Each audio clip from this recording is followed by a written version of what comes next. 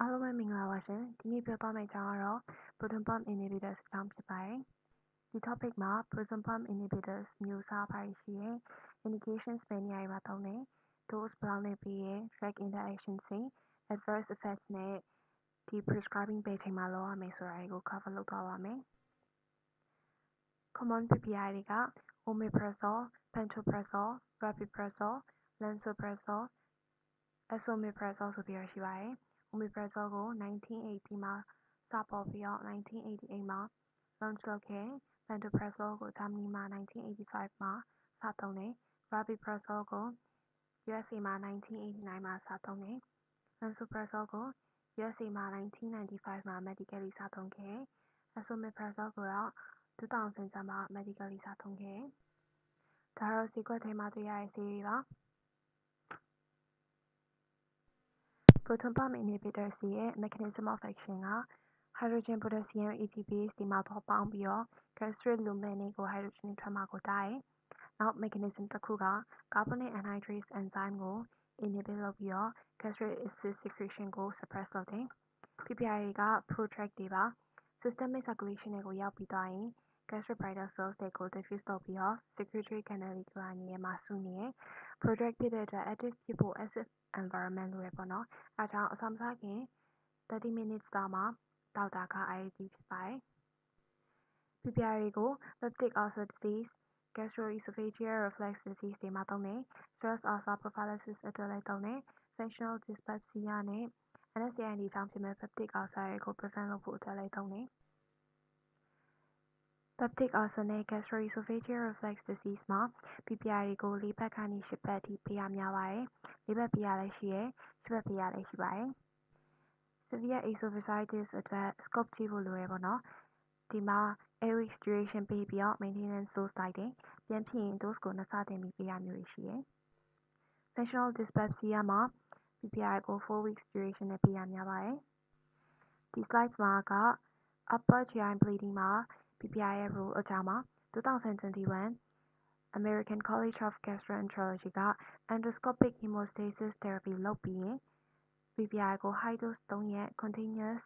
or intermittent ပေး ပေးပြီးရင် oral PPI ကို twice daily နဲ့ 2 ပတ်ကြာပေးဖို့ recommend လုပ်ထားပါတယ် endoscopy ကြည့်လို့ active bleeding တွေ visible vessel တွေတွေ့ရင် endoscopic therapy လုပ် လုပ်ပြီးရင် high dose PPI therapy ပေးရတယ် adherent clot တွေ့ရင် လည်း high dose PPI therapy ပေးတယ် ဒါပေမဲ့ endoscopic features က flat pigmented spot တွေ clean base တွေဆိုရင်တော့ endoscopic therapy မလိုဘူး standard PPI therapy ပေးရမယ် PPI and NSAID related ulcer NSAID ကြောင့်ဖြစ်မဲ့ GI toxicity ကို risk အရင်တွက်တယ်ပေါ့နော် complicated ulcer history ရှိတယ် အထူးသဖြင့် လတ်တလောမှာဖြစ်ထားတယ်ဆိုလို့ရှိရင် high risk ပါ နောက်ထပ် risk factors တွေကတော့ အသက် 65 နှစ်အထက်တွေ NSAID therapy ကို high dose သောက်နေတယ် uncomplicated ulcer history ရှိတယ် aspirin တွေ corticosteroid တွေ anticoagulant တွေ သုံးနေတယ်ဆိုလို့ရှိရင် ဒီ risk factors တွေထဲက နှစ်ချက်အထက်ဆိုလို့ရှိရင် high risk တစ်ချက်ကနေ နှစ်ချက်အထိရှိတယ်ဆိုရင်တော့ moderate risk risk factors တွေ တစ်ခုမှမရှိဘူးဆိုလို့ရှိရင်တော့ low risk ပါ NSAID ကြောင့်ဖြစ်မဲ့ ulcer complication တွေကို ကာကွယ်ဖို့ GI risk က low ဖြစ်တယ် cardiovascular risk ကလည်း low ဖြစ်တယ်ဆိုလို့ရှိရင် NSAID ကို lowest effective dose နဲ့ ပေးလို့ရတယ်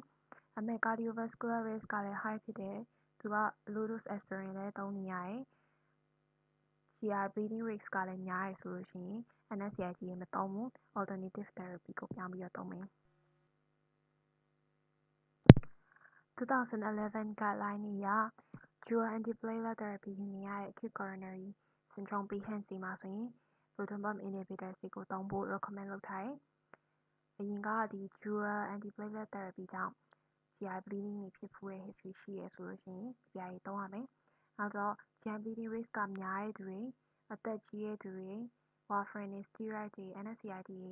သုံးနေတဲ့သူတွေဆိုလို့ရှိရင် PPI ကို သုံးသင့်တယ် ဒါမှမဟုတ် GI bleeding risk က low ဖြစ်တယ်ဆိုရင်တော့ PPI သုံးစရာမလိုဘူး Zollinger Ellison syndrome မှာ initial dose အနေနဲ့ omeprazole ကို 60 mg pantoprazole ကို 80 mg ပေးတယ်ပေါ့နော် stress also prophylaxis အတွက်လည်း proton pump inhibitors တွေကို သုံးပါတယ်ဆေးရုံတက်နေရတဲ့သူတွေမှာ high-risk patients တွေ ဥပမာ icu ထဲမှာ mechanical ventilation ပေးတာ 48 hours ကျော်သွားရင် ဒါမှမဟုတ် anticoagulant ပေးထားတဲ့သူတွေမှာ ppi ကို ပေးပါတယ် ဒါကတော့ ppi ရဲ့ dose တွေပါ standard dose therapy မှာဆိုရင် pantoprazole 40 mg ကလွဲလို့ ကျန်တာတွေက 20 mg 30 mg od နဲ့ ပေးတယ် low dose ဆိုရင် standard dose ရဲ့ half double dose ဆိုရင် standard dose ရဲ့နှစ်ဆပါ severe esophagitis အတွက် standard dose က rabeprazole 20 mg lansoprazole 30 mg ကလွဲလို့ ကျန်တာတွေက 40 mg od နဲ့ ပေးတယ် low dose က standard dose ရဲ့တစ်ဝက် high dose က standard dose ရဲ့နှစ်ဆကို twice a day နဲ့ ပေးပါတယ်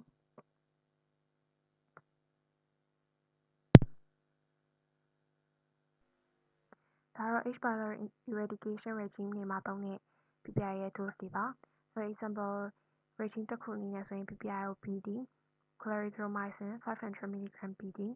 metronidazole 500 mg bd နဲ့14 days ပေးပါတယ် drug interactions အနေနဲ့ ကြည့်မယ်ဆိုရင် ဆေးတွေအကုန်လုံးမှာ contraindication သုံးခုစီရှိတယ် seriously ဖြစ်တာနဲ့ closely monitor လုပ်ရမယ့်ဟာက omeprazole က ကျန်တာတွေထက် နည်းနည်းပိုများတဲ့ သဘောပေါ့နော် serious drug interactions တွေက ppi တွေကို clopidogrel နဲ့ တွဲသုံးမိရင် clopidogrel ရဲ့ effect တွေကျတယ်တကောက်ဆင်နဲ့တွဲသုံးမိရင်ကျတော့တကောက်ဆင်ရဲ့ level ရဲ့ effect တွေပိုများပြီးတော့တကောက်ဆင် toxicity ပိုပြီးတော့ ဖြစ်နိုင်တယ် hepatitis c treatment မှာသုံးတဲ့ sofosbuvir တို့ vildaxar တို့နဲ့ တွဲသုံးမိရင် ဒီဆေးတွေရဲ့ level တွေ effect တွေကို ကျစေပြီးတော့ hepatitis c treatment ကို failure ဖြစ်စေနိုင်တယ် ppi က interstitial nephritis ဖြစ်စေနိုင်တယ်လို့လည်း ပြောကြတယ် ဒါပေမယ့် နည်းတော့နည်းတယ်ပေါ့နော် သူ့ရဲ့ crude incidence rate က 11.98 လောက်ရှိတယ် တစ်နှစ်မှာ လူတစ်သိန်းမှာ13ယောက်လောက်ရှိတယ်လို့ပြောထားတယ် ppi နဲ့ hypomagnesemia က ppi က intestine ထဲမှာ magnesium absorption တွေကို impair လုပ်တယ် ဆွဲသုံးလို့ရှိရင် တစ်နှစ်အကြာလောက်မှာ တွေ့ရများတယ်တချို့မှာတော့သုံးလလောက်နဲ့လည်း တွေ့တယ် ppi သုံးတဲ့သူတွေနဲ့ မသုံးတဲ့သူတွေကို လေ့လာကြည့်တဲ့အခါမှာ hypomagnesemia က ppi သုံးတဲ့သူတွေမှာ 19.4% ppi မသုံးတဲ့သူတွေမှာ 13.5%တွေ့ရတယ် meta analysis လုပ်လိုက်တဲ့အခါမှာ ppi use က hypomagnesemia နဲ့ ဆက်စပ်မှုရှိတယ်ပေါ့နော် high dose သောက်လို့ရှိရင်တော့ ပိုပြီးတော့ risk များတယ် ppi က osteoporosis ကိုလည်း ဖြစ်စေတယ် 2010 မှာ us fda ကနေ ppi သောက်ရင် osteoporosis risk ပိုများတယ်ဆိုပြီး ပြောထားတယ် 2016 meta analysis အရ ppi က fracture တွေထဲမှာ spine fracture တွေကို 58%လောက်ဖြစ်စေတယ် ppi က clostridioides difficile infection risk ကို 74% pneumonia risk ကို 34%ပိုပြီးတော့များစေတယ် ppi က b12 deficiency ကိုလည်း ဖြစ်စေတယ်12 months follow up မှာ ကြည့်လိုက်ရင် 2.8%လောက်မှာ တွေ့ရတတ်တယ် သုံးနှစ်လောက် သုံးပြီးရင်တော့ clinical examination မှာ ဘာမှမတွေ့ပေမယ့် serum level စစ်လိုက်ရင် နည်းနေတာမျိုးတွေကို တွေ့ရတယ် other side effect အနေနဲ့ဆိုရင် esomeprazole က headache ဖြစ်စေတယ်လို့ပြောတယ်ဒါပေမယ့်ဒါကဗဟုသုတအနေနဲ့သိထားရင်ရပါတယ် ppi တွေကိုပေးပြီးရင် dose ကိုဘယ်လိုလျှော့မယ်ဖြုတ်မယ်ဆိုတာတွေကို2017 canadian family physician practice guideline ကနေပြောထားတယ်ဒီ guideline တွေကိုသိထားဖို့လိုတယ် mild to moderate esophagitis တွေ gastroesophageal reflux disease တွေမှာဆိုရင် ppi ကို4ပတ်ကနေ8ပတ်ပေးပြီးလို့ esophagitis လ ည်း heal ဖြစ်သွားပြီ symptom တွေလည်း သက်သာသွားပြီဆိုရင် ရပ်လို့ရတယ် nsaids ကြောင့်ဖြစ်တဲ့ peptic ulcer တွေ h. pylori infection ကြောင့်ဖြစ်တဲ့ peptic ulcer တွေမှာလည်း2ပတ်ကနေ